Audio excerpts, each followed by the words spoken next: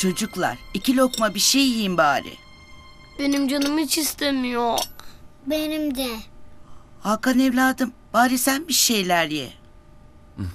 Benim de canım istemiyor Makbuş. Ne yalan söyleyeyim benim de boğazımdan geçmiyor. Ev ne kadar sessizleşti öyle değil mi? Nan olmayınca hiçbir şeyin tadı tuzu yok. Ne yapalım? Kendi gitmek istedi çocuklar. Ama mecbur olduğu için gitti. Evet mutlaka geri dönecek. Umarım. Aa tabii geri dönecek. Gitmek zorunda kaldı. Tez zamanda dönecektir çocuklar bak göreceksiniz. Nana olabilir. Geleceğini biliyordum.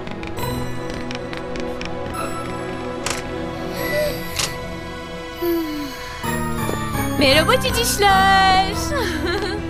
Gel kabus geri döndü sanki. Nana gelsene bu kabus bitse artık. Çocuklar neden suratınız asık bakayım ha? Nana gitti diye üzülüyorlar. E hadi bırakın canım üzülmeyi. Hadi hep beraber oyun oynayalım ha? Olur mu? Evet. İyi ikiniz oynayın işte. Nana çok yakında dönecek zaten. Belki de sizden sıkılmıştır. Hayatını yaşıyordur şimdi. Ha?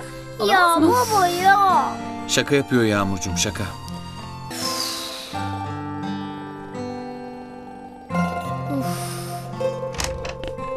Ay nihayet gittiler. Kadının istekleri bitmek bilmiyor canım ha. Gıcıklar ne olacak? Yani. Aa saat kaç oldu neden hala ayaktasınız? Nan olmayınca hiçbir şey yapmak gelmiyor içimden. Nana ile uyumaya o kadar çok alıştım ki şimdi nasıl uyuyacağım ben? Yarın okulunuz var. En kısa zamanda dönecek. Ne o? Uyumadınız mı hala? Hı. Prenses nerede senin bebeğin bakayım? Bilmiyorum. Kayıp mı oldu yoksa? Al bununla uyu bakalım. Ya ben başka bez bebek istemiyorum. Yarın istersen sana başka bez bebek alırız. Hayır, hiçbir bez bebek onun yerini tutamaz. Tamam, yarın arar bebeğini buluruz söz. Makbuş, Nana hemen dönecek değil mi? Evet kokarcam dönecek. Hadi bakalım yatağa yavrum hadi. Ha? Hadi iyi geceler bakalım. Hadi evladım iyi geceler. İyi geceler Makbuş Sultan. Bir isteğin var mı evladım? Sağ ol Makbuş Sultan. Şey, Nana ne yapıyordur acaba?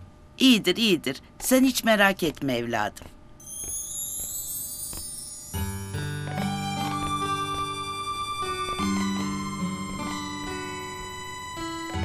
Nana, hemen